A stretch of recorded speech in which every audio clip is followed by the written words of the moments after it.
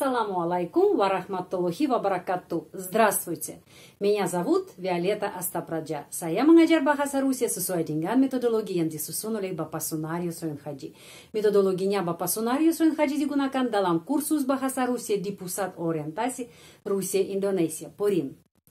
Hari ini kita melanjutkan membahas tema menyusun kalimat dalam waktu lampau. Cara nomor dua. Kemarin kita membahas cara nomor satu, bagaimana kita bisa menyusun kalimat dalam masa lampau ya, dalam waktu lampau atau past tense. Hari ini cara nomor dua, untuk menyusun kalimat dalam waktu lampau past tense. Sekarang kita mengambil contohnya sama seperti kemarin. Kita mengambil kata kerja membaca, читать, имперфектив дан перфектив форм прочитать. Прочитать. Я? Membaca imperfective form читать dan perfective form прочитать. Bedanya artinya, beda artinya apa antara imperfektif dan perfektif? Kemarin kita belajar apapun yang terjadi pada masa lampau, kita cuma uh, menyampaikan atau menceritakan tentang faktanya. Itu terjadi ya, dalam past tense. Tapi di sana tidak ada rasa mulai dan selesai kegiatan ini. Hari ini kita akan membahas kalimat kalau di sana ada perasaan dalam kalimat ini ada perasaan yang kegiatan itu mulai dan dilakukan dan selesai. Contohnya di sini kemarin ya читал книгу вчера. Saya membaca buku kemarin. Itu jadi kemarin ya, saya membuka buku, terus saya baca tapi tidak ada perasaan saya sudah selesai membaca buku ini. Cuma saya membaca kemarin. Ya. Hanya faktanya itu terjadi kemarin. Tapi tidak ada perasaan selesai. Hari ini kita belajar begini. Kalau saya membuka buku ini ya. Saya mulai membaca membaca membaca membaca membaca ya. Saya membaca buku ini sampai halaman akhir terakhir ya. Oh sudah saya selesai membaca. Itu hari ini cara menyusun kalimat dalam waktu lampau kalau mulai dan selesai. Mulai dan selesai saya membaca buku kemarin. Maksudnya mulai membaca buku dan selesai membaca buku ini. Kalau saya adalah laki-laki, ya, saya menyusun kata kerja ini dalam apa? Uh, dari apa? Dari kata kerja yang infinitive form ya. Tapi hari ini kita mengambil ini, kita mengambil perfective form. Perfective form mempunyai, sesuai dengan morfem, mempunyai awalan kata, kata kerja pro, tapi bacanya pra karena penekanannya di sini. Pra, terus ada akar kata cheat, ada sufiks a, dan akhiran kata kerja te sama tanda pelemah. Kita mengambil ini sebagai dasarnya, terus apa yang kita lakukan? Mengambil ini, kita masih mengambil ya, awalan kata kerja, akar kata kerja, dan sufiks a. Kita mengambil sufiks a. Tapi akhiran kata kerja kita tidak perlu. Kita mengambil ini dan taruh ke sini. Jadi, procit a ya sampai sufiks a. Habis sufiks a, kita tambah sufiks l. Kalau saya bilang, saya adalah laki-laki ya, saya membaca buku kemarin. Tambah sufiks lagi, sufiks L. Jadi saya membaca buku kemarin, jadi saya mulai, ya saya mulai membaca buku itu sampai akhir, sudah semua baca-baca-baca, sudah selesai, tutup.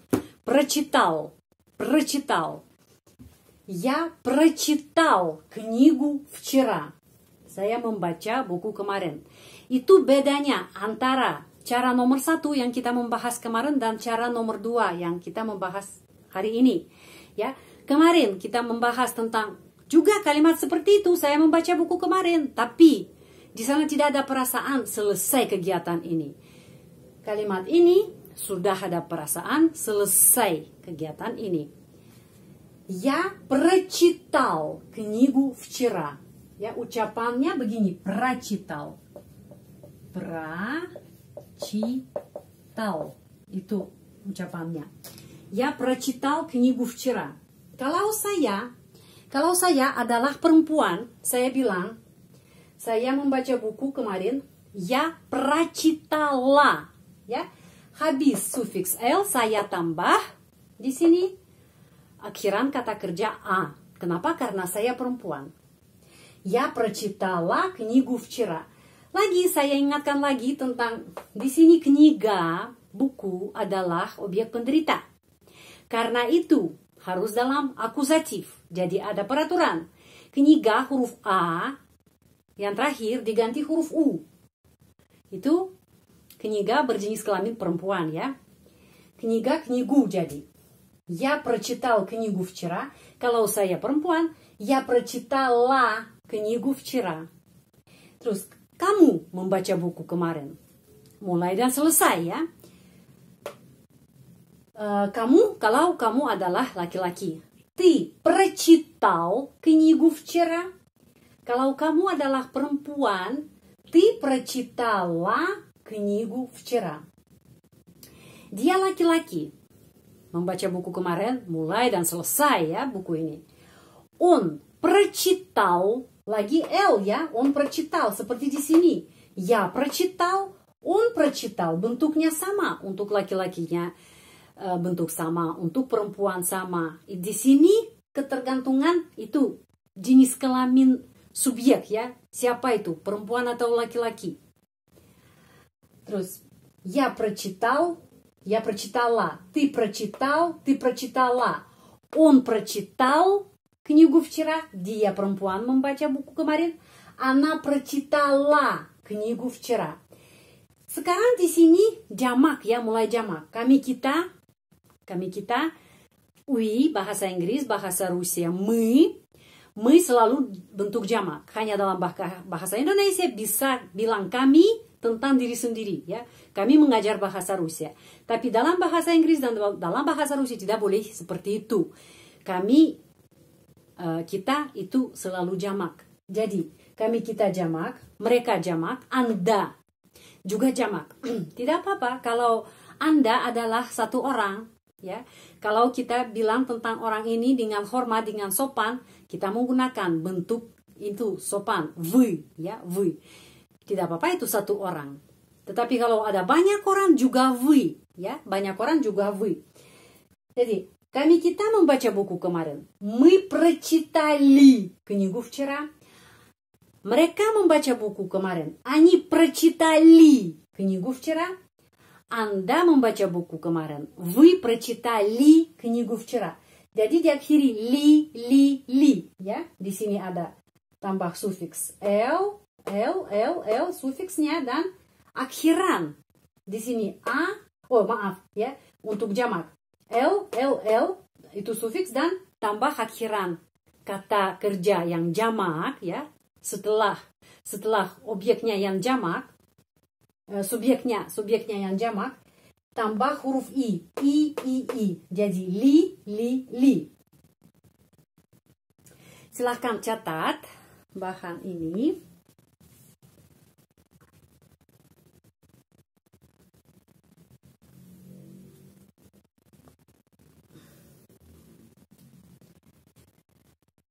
Kesimpulannya di sini apa? Kita mengambil di sini mengambil kata kerja perfective form dan kata kerja perfective form itu diakhiri juga diakhiri juga.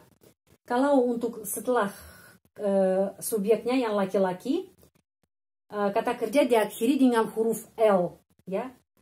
Terus kata kerja diakhiri la kalau sebelumnya ada uh, subjeknya perempuan diakhiri la, kata kerja diakhiri la. Kalau jamak banyak orang atau satu orang, Anda, we, hanya satu orang tapi bentuknya untuk jamak. We atau ani atau мы kata kerja di sini diakhiri dengan dua huruf itu li ya. Jadi untuk laki-laki kata kerja diakhiri l, untuk perempuan diakhiri la, untuk jamak li. Li. Sekarang kita mengambil contoh делать, сделать, melakukan atau mengerjakan juga. Делать, сделать tidak hanya melakukan dan juga mengerjakan.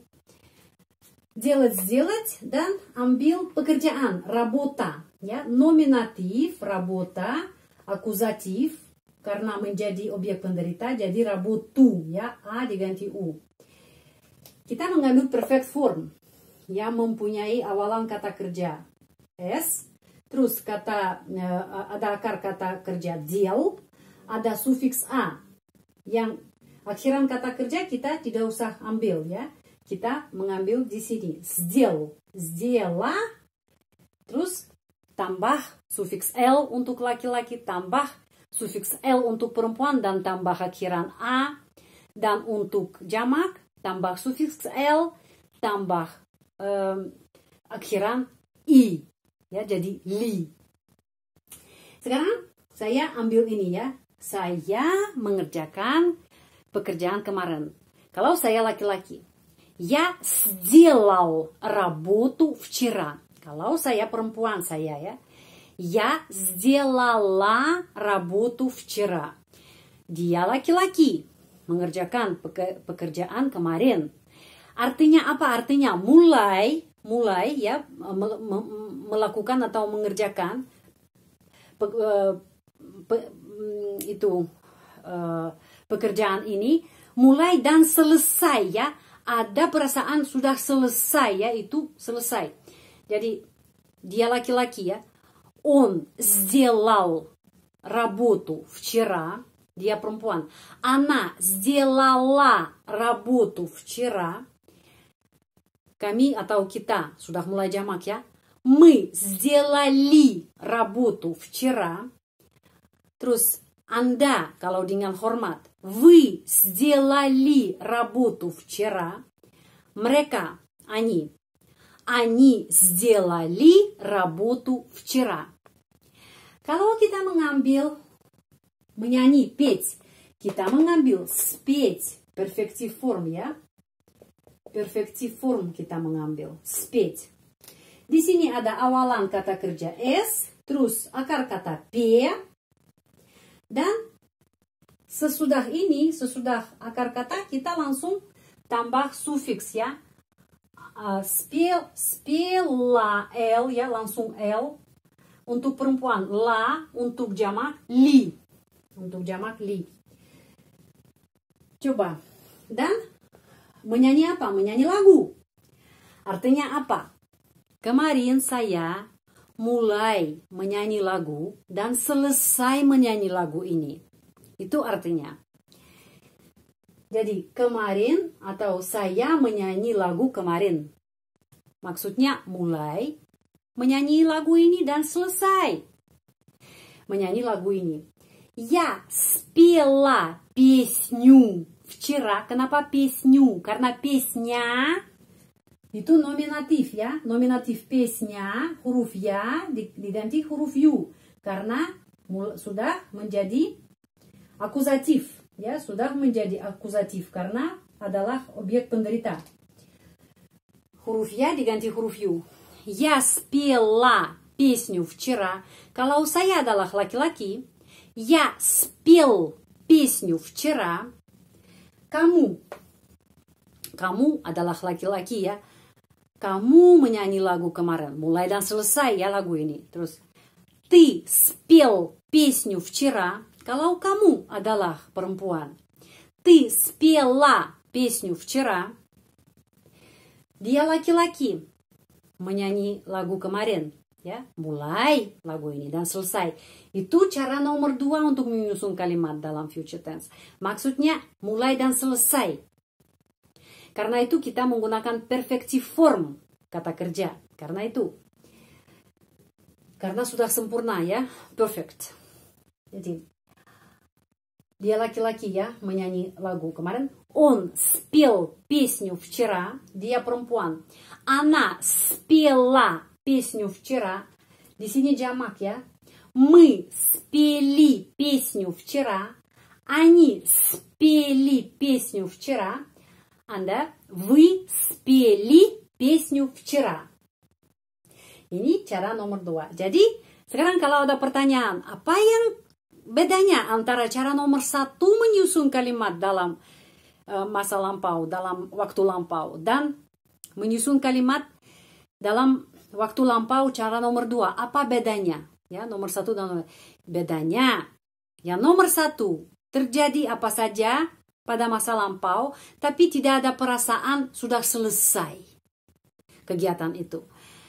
Tapi yang ini cara nomor dua, khusus untuk kalau kita apa saja mulai melakukan mulai dan selesai.